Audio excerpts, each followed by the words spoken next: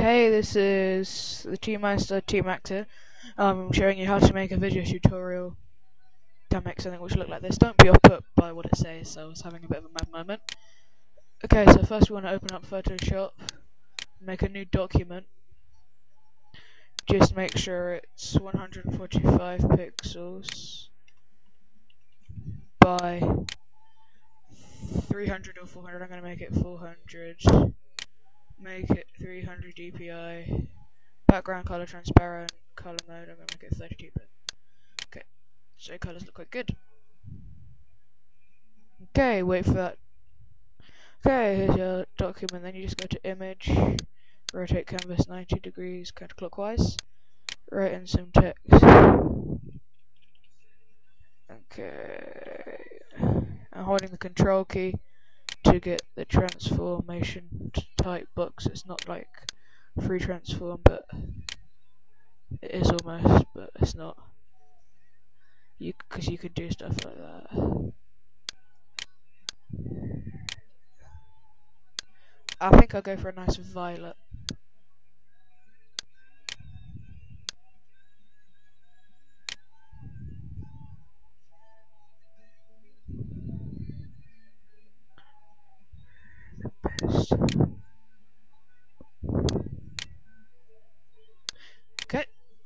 Find one like that. Okay, just gonna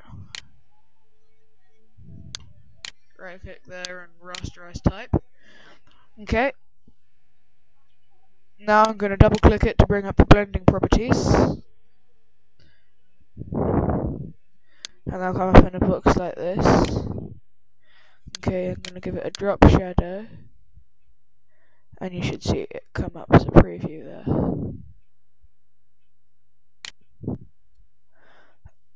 Yeah, okay. Um, YouTube, pattern overlay. Just using a few tricks I know to get something that looks nice.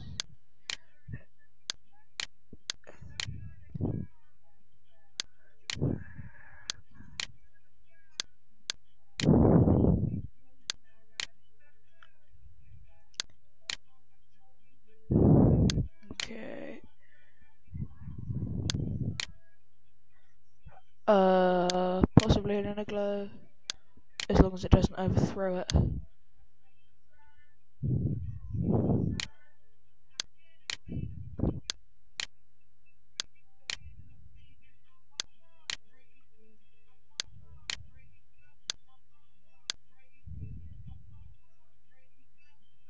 That if you want to just give it a metal effect would work, but I'm not going to, I'm just going to use a preset.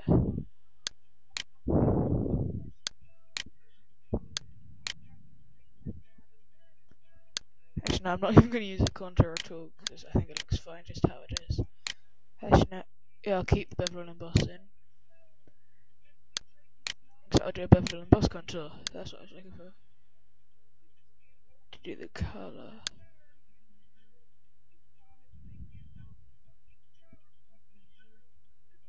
What? All those YouTube people, yep. You could give it a stroke, but I'm not going to do that yet. Just hit OK, then drag the YouTube layer down to create a duplicate, then go to Window, and then hit Animation. It'll come up like this at first. You want to click this little button down here with the little squares on it, and it'll come up like that for 10 seconds. I want to make it no delay, yeah, no delay. And we have YouTube copy here and here. I'm just going to hit that then I'm going to come to my YouTube copy layer and I'm going to add a stroke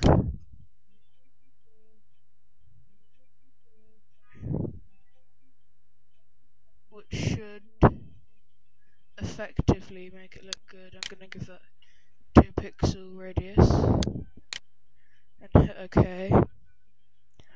Then I'm going to hit new layer here so you've got 2 and then I'm to put my YouTube layer back there. So I'm going to do that. This is rather quick. You can experiment just changing the layers.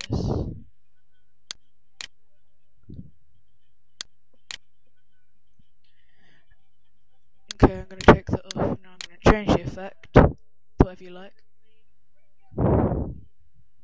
Add a satin.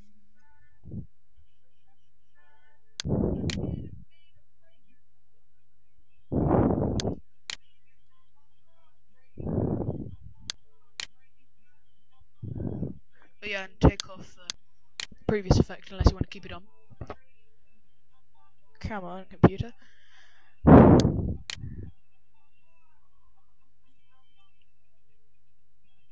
Okay, there's no layer.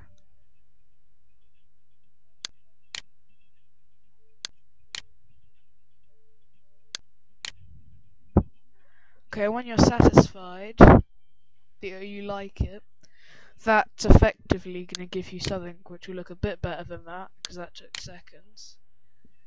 And then just do file, uh, sorry, get rid of your text layer here. Okay, then you want to save it somewhere.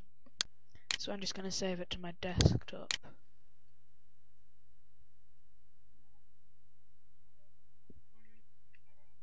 A folder called GC for no apparent reason. Save it as a Photoshop document, call it YouTube. And save it.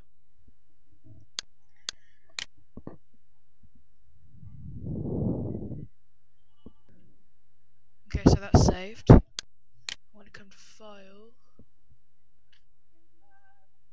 Okay.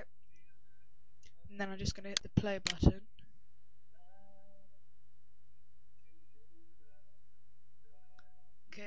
Looks fine. Now, if you want to just uh, loop forever. And it can come up like that.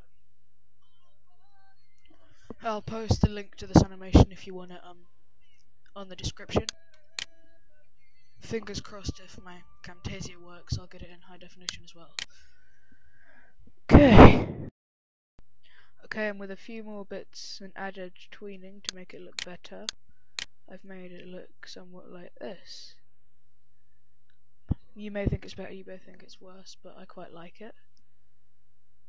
And, um, yeah, so as you can see at the moment, you can't save for web and devices. So you've got to go, you've got to go to image mode and take it down to 16. Don't click merge, otherwise you lose your animation. Your animation will still play.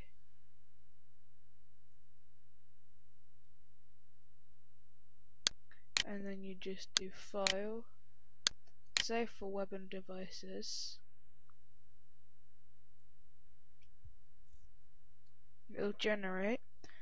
And then you ask make sure it says it's just a GIF. And make sure it's tra transparent.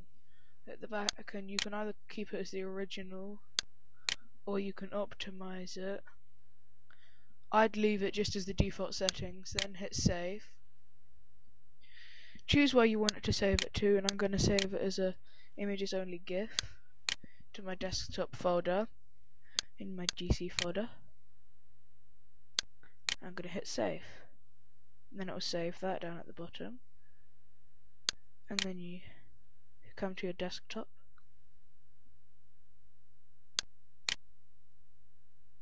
Oh yeah, here's my GC folder. Now in here there should be a lovely YouTube animation. Which is sped up a lot. And now it's got that kind of a fade in, fade out. If you want a more kind of bashy one, like this one, then you know what to do. Don't tween it and just do two frames and make sure they repeat. And that's the end of this tutorial on how to make a flashy banner animation in Photoshop.